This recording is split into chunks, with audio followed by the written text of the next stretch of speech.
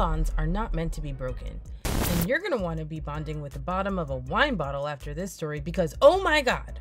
Tonight, you'll see those same twin sisters admit to brutally killing their mother.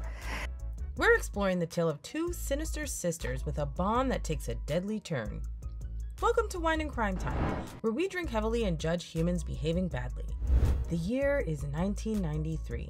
Meet Jasmiyah and Tasmiyah Whitehead, identical twin sisters who grew up in Decatur, Georgia. Their mother's name is Jarmecca Whitehead, but she preferred to be called Nikki. Not really sure why, but Nikki. So Nikki was just 17 years old when she gave birth to twin baby girls. Nikki had a pretty rough childhood. She was also born to a young mother named Linda Whitehead, and Linda was literally in jail when she gave birth to Nikki. So Nikki is raised by her grandmother, Della Frazier, and when she became pregnant at 17, Della steps in to become the primary caretaker of Nikki's baby girls, Jasmiyah and Tasmiyah. Now, Nikki made sure to be a part of the girl's life. They kind of thought of her as like an aunt or a big sister of some sort, and Della was actually really happy to be raising her great granddaughters. She made sure their lives were packed with a bunch of different activities to keep them occupied, like ballet, music lessons, Girl Scouts, and Nikki would always be sure to contribute so the financial burden wasn't all on her grandma Della. Nikki goes to cosmetology school and ends up becoming an amazing hairstylist. She was great at her job. She made sure the girls were really well cared for. They had the nicest things, they had access to the best school programs, and they seemed to be living a really good life. Everyone loved the twins. They studied hard, they got straight A's in school, they were really sweet, likable girls, but apparently Della would undermine Nikki in front of the girls a lot. In fact, Linda, Della and Nikki all had difficult relationships with one another, but they all seemed to really just put their differences aside and focus on what was best for the girls. When Nikki was 25, she started dating 55 year old Robert Head. Robert was a long haul truck driver out of Conyers, Georgia, a suburb right outside of Atlanta. Robert's driving job took him out of the neighborhood, so he wasn't home a lot. He treated Nikki really well, though, and the two of them enjoyed an open relationship. After six years together, he asked Nikki to move in with him. He really just genuinely wanted all of them to be a family together. And Nikki, at this time, felt like she was ready for that kind of stability. She was ready to be the primary caretaker for her girls, so she made it a priority to get custody of her now 13 year old daughters. She's feeling really excited, like she's finally doing things right, and this is going to be a great move for them, right? Well, if they all lived happily ever after, we wouldn't be here. The problem with Nikki's plan is that the girls don't want to go. They don't want to move in with Robert, they don't want to live with their mom, they just want to stay with their great grandma Della. But even though the girls are resisting, Nikki is still granted custody. So they pack up and move into Robert's home in Conyers.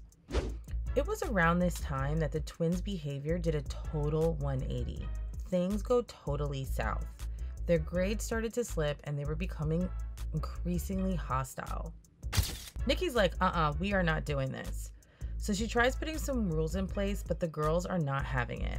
They're like, you haven't even raised us, and now you're trying to come in and give us all these rules?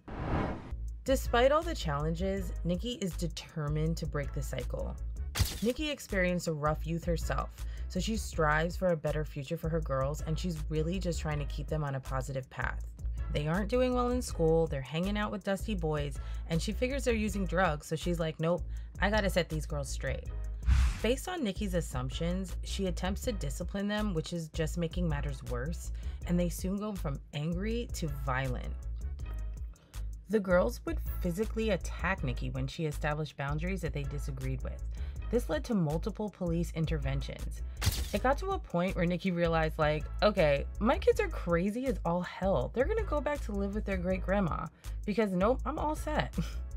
and so she sends them back to live with Della, which is where their friends were, all the stability and everything else. And so to Jasmiyah and Tasmiyah, they register this as, oh, great. So if we're just awful to our mom, we get to go to where we want to be.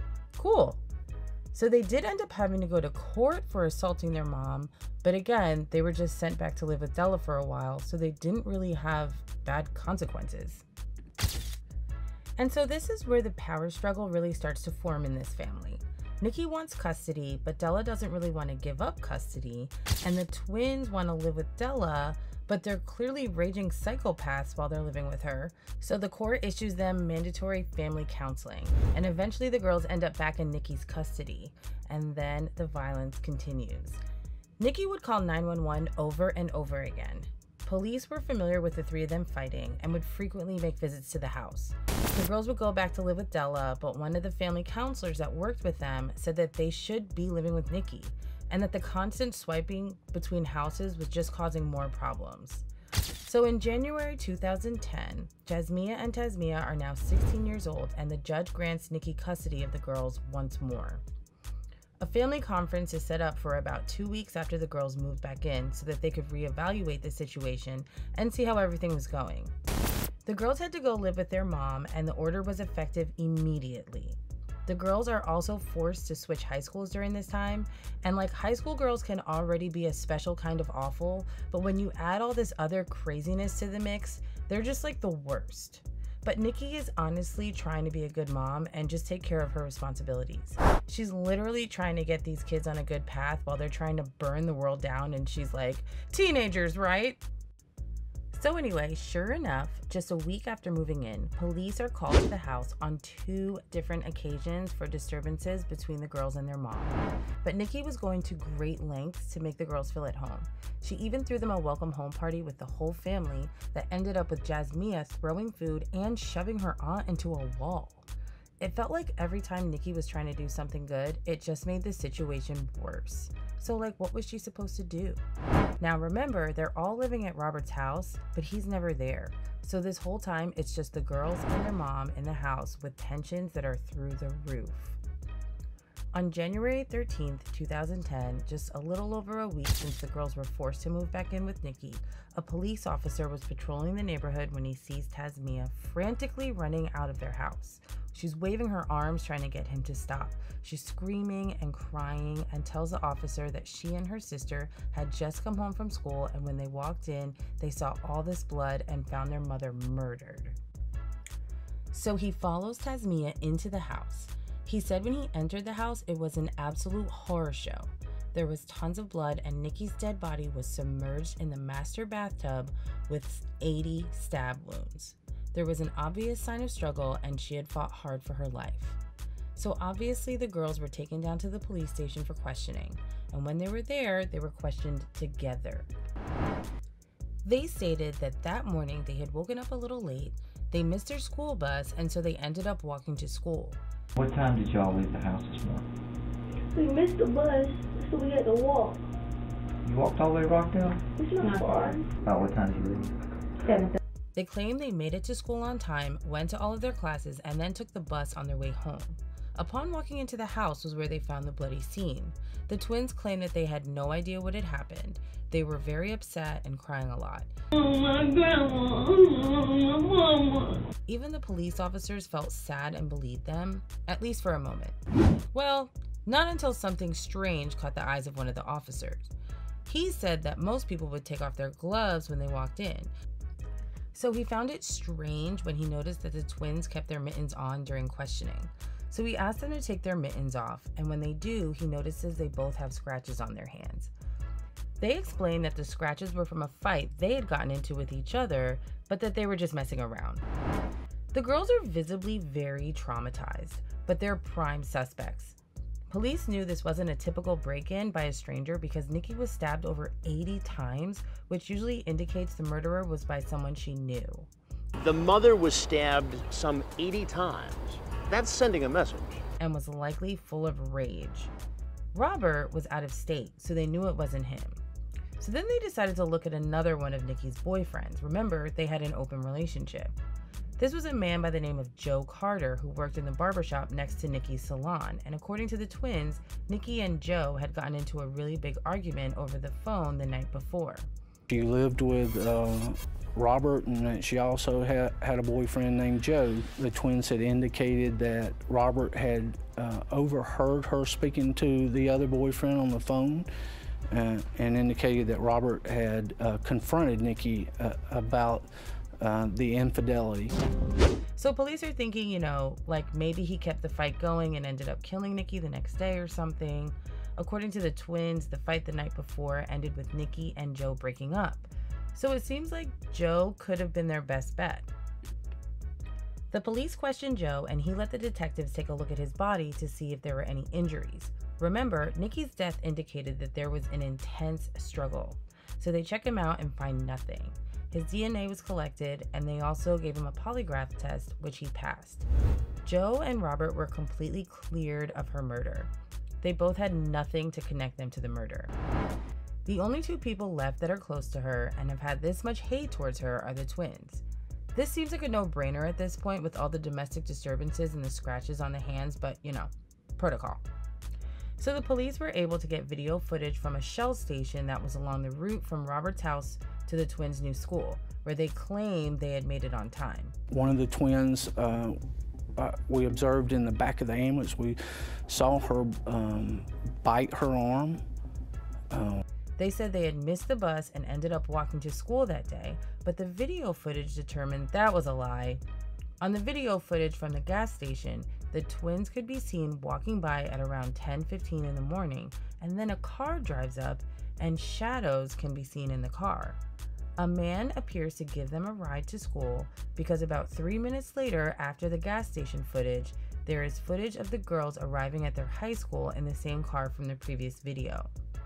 They both walked into the school it's not known if this was a stranger or a family member, but what matters is that the walk and this ride leaves about two to three hour gaps in that time frame. This was a massive hole in their alibis because school obviously doesn't start at 10:15. So where were they? Police then ordered their dental records to see if they could match their teeth to bite marks found on Nikki's body. We had a, a dental examination of, of Nikki's teeth, uh, and they matched it to the bite on the twin. Police officers noted that Tasmiyah had bite marks on her arm the day of Nikki's murder. When asked about it, Tasmiyah said it's part of her coping mechanism when she's stressed. She bites her arm. And she also added that she'd gotten into a fight at school and gotten bitten during that as well. The last piece of hard evidence was a broken vase found at the crime scene. They found the DNA of Nikki as well as both of the twins on the vase since Jasmiyah and Tasmiyah have the exact same DNA. It took police four months for them to collect all the evidence and draw their conclusions, which is actually insanely long when you consider all of the evidence that was piled up against these girls. But finally, on May 16th, 2010, the twins were brought back in for questioning, and that's when they cracked and confessed to their mother's murder. So then the girls were split up and two separate confessions were taken. And even though the girls were apart, their confessions were almost exactly the same and they were arrested and charged with murder. During Jasmiyah's trial, the prosecutor said that the girls had woken up late, went downstairs to the kitchen, and found their mother there upset about them waking up for school, and that's when an argument started. A fight with their mother after waking up late. Nikki allegedly attacked Tasmiyah with a pot, and in self defense, the twins wrestled the pot away, igniting a full blown brawl. She just started waving the pot around and things like that or whatever. And so I guess she trying to hit us with the pot. You know, she just threatening us. Nikki then grabbed a steak knife, urging the girls to keep their distance. Um, just, just went in that, that battle with the knife or whatever, so I, I picked up the pot. The confrontation escalated as they moved to the living room. Jasmiyah retaliated by striking her mother's head with a red vase, prompting Nikki to fight back in the face of bloodshed. Tasmiyah then proceeds to pick up the knife and stabs Nikki. After all the biting, punching, screaming, and stabbing, the twins drag their mother into the bathtub. There was evidence to support that Tasmiyah was the one who did the stabbing, and in addition to the cuts and bites on her arm, she had a deep cut on her finger that was consistent with the sharp blade of a knife. Now, this is where it gets weird. According to the prosecutors, Tasmiyah said after the first initial fight with the pot and the knife, Nikki actually left the house. Running out of the house with the cordless phone in her hand, hysterical. I pulled up, asked her what happened. There was evidence to support this claim because investigators found drops of blood on the wall next to the neighbor's front door. It seems like she may have gone there to seek help, but no one answered. Tasmiyah said Nikki returned after leaving the house and sat down because she was exhausted, and then her mom lunged for the same knife that they were fighting with previously, and the fight sort of just continued. During their separate trials, both girls pleaded guilty and were convicted on three counts of voluntary manslaughter. They were also guilty of falsification of government matters and possession of a knife in connection with a crime. They were each given a total of 30 years in prison. Brenda, we pick up almost exactly four years after the crime, the twins about to go to trial. Instead, they accept a 30 year sentence and start talking about what actually happened the morning of the murder. Nikki's mother, Linda, has since said that she witnessed Jasmiyah go up to Nikki at one point and told her, quote, if I have to go live with you again, I'm gonna kill you. And two weeks later, Nikki was killed. Linda believes her mother, Della, had manipulated the girls and their situation with Nikki in a lot of ways. She had unhealthy control over those girls and must have turned them against their mother at some point. Despite everything, Della thinks the girls were pushed to their breaking point and is still standing firmly 100% in the girls' corner. She speaks of them now as if they're thriving despite being in prison. She's announced that both girls obtained their GEDs. Tasmiyah is currently studying computer tech, and Jasmiyah is in the medical field. Worked really, really, really hard. I stayed up all night some days to finish some of the things they gave me. There have been two wildly different opinions people have on the Jas and Tas Whitehead case. Some believe the situation was abusive and they were just responding to their environment, while others think they're spoiled little brat murderers who didn't want to listen to their mom. Either way, Nikki Whitehead is sorely missed by those who knew her. Friends have come out to speak on how loving and outgoing she was, and their community continues to be shocked at what happened to her to this day. So, what do you think? Crazy psycho brats, abused teens, or maybe a little bit of both? Let us know in the comments. Also, don't forget to like, share, and subscribe for more true crime cases weekly. Thanks for tuning in to Wine and Crime Time, and we'll see you in the next video. Toodaloo!